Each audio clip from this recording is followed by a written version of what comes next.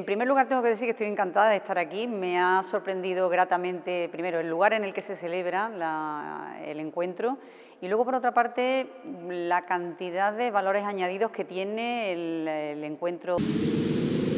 Y como tú me comentabas, efectivamente lleva aparejado no solamente el hecho de, que eh, promuevan la creación, la creatividad en los chavales, sino que además se trata de un encuentro de convivencia fundamental en el que participa eh, prácticamente todo el pueblo. Eso le permite la convivencia, que es fundamental en estas edades.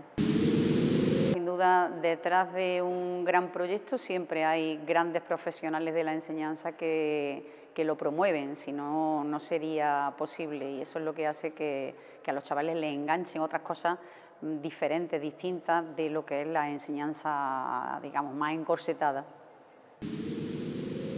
Bueno, pues, pues que me llama, me llama poderosamente la atención el hecho de que un pueblo, una zona alejada de la capital, se convierta por unos días, y espero que por mucho tiempo, en capital, en el lugar, en el foco de atención de un montón de, personas, de alumnos, de profesores del resto de España. Entonces, yo creo que es una iniciativa eh, preciosa que hay que seguir promoviendo.